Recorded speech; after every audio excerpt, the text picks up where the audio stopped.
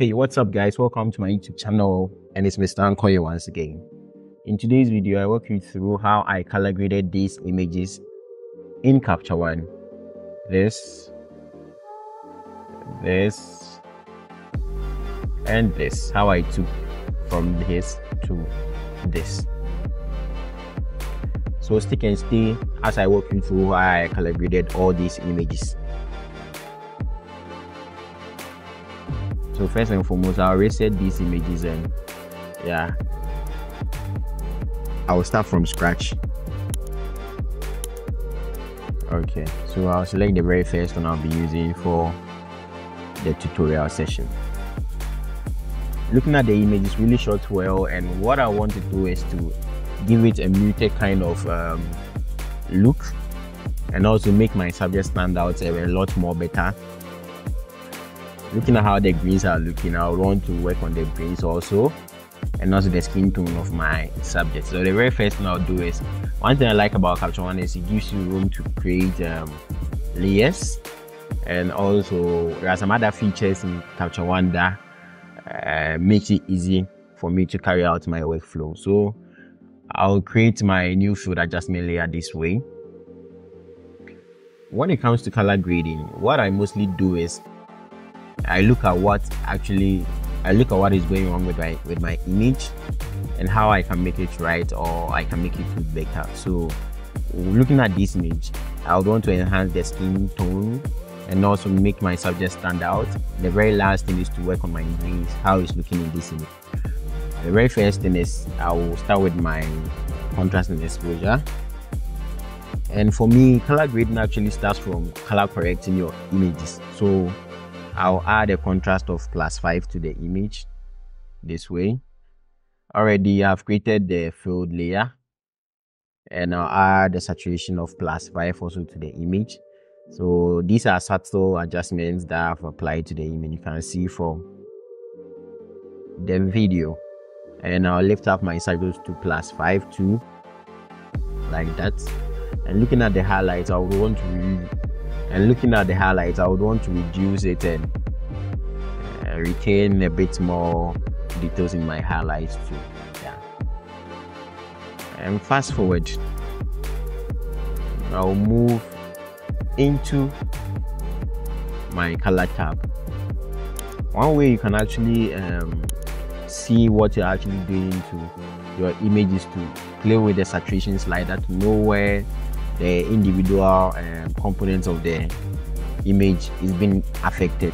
So inside the saturation when i dial down the reds you can see there are reds in there but not so much dominant. So i wouldn't touch my reds. Now move on into the oranges. So inside the oranges what i'll do is i'll bump up the saturation a bit to plus three and reduce the lightness a bit to minus 3 um, to give it a bit of um, richness to the skin tone.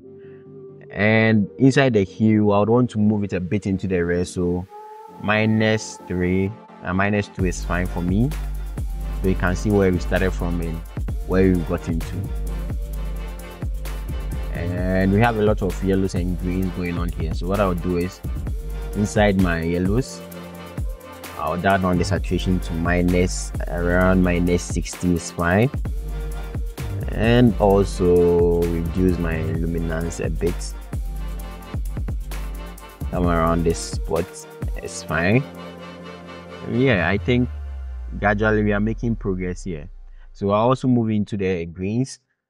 Okay so inside my greens what I'll do is I'll try and change the hue a bit to somewhere around here and the saturation to I'll dial it down to uh, minus 35 I may come back to adjust some few things and inside the lightness to I'll dial it down to actually bring that kind of separation I want in my image. So here's where we started from and here's where we are now before and after before and after. Yeah so yeah i don't have so much aquas in the shot. I also don't have so much blues in this particular image.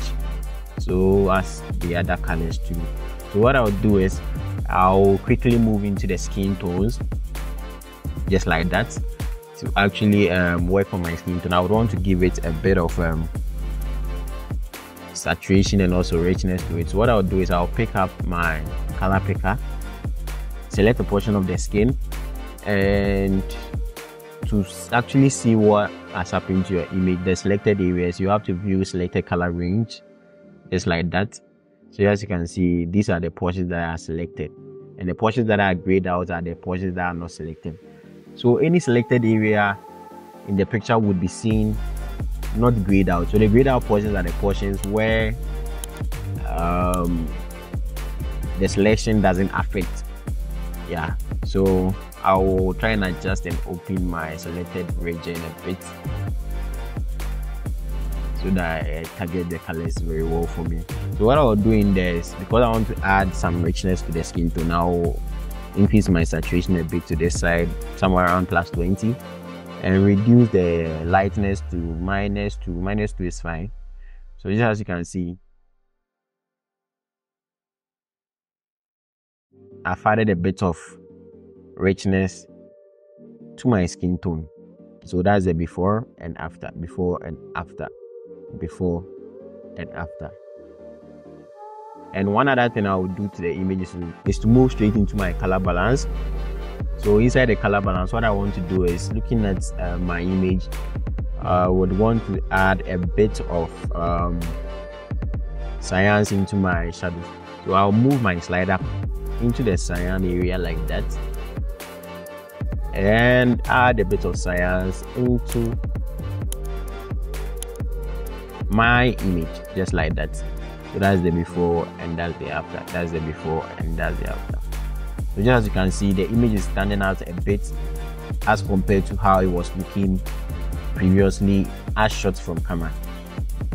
Yeah because i added a bit of um, cyans into my shadows or blues into my shadows what i'll do is i'll come back into my basic tab into my oranges and add a bit of saturation into the skin so that it actually stands out. Yeah. So we took the image from here straight out of camera shot and we added uh, some sort of gray to it to give it character and interest. Yeah. So we started from here and here we are yeah. I like the outcome already. And what i'll do right now is to copy the adjustment i've made already and apply it to the other images. So i'll apply it to this image. Wow this really looking nice. And also to this one. Yeah.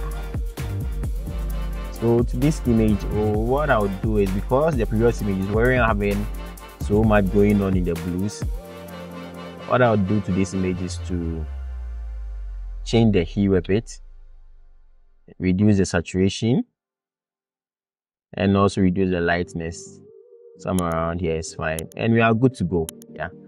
So all these images are actually ready for further processing. If you want to retouch your images, you can actually do that in Photoshop. I use Photoshop to actually um, retouch my images.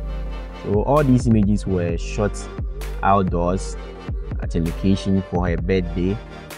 Yeah, and the outcome was really stunning. So this one was shot with a strobe, same as this, but this one was shot with natural light. I really like the session.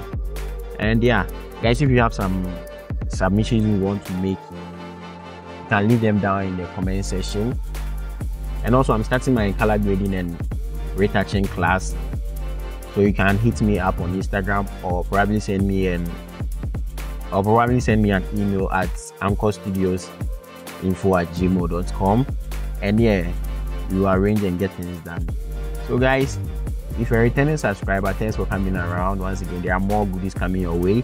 I'll be doing this more often. People do ask me how i calibrate my images and my how my post-production looks like. So i'll be doing more of this offering photoshop tutorials more often and if this is your first time actually chancing on my content don't forget to like comment subscribe and also share to other creators and charlie on to the next.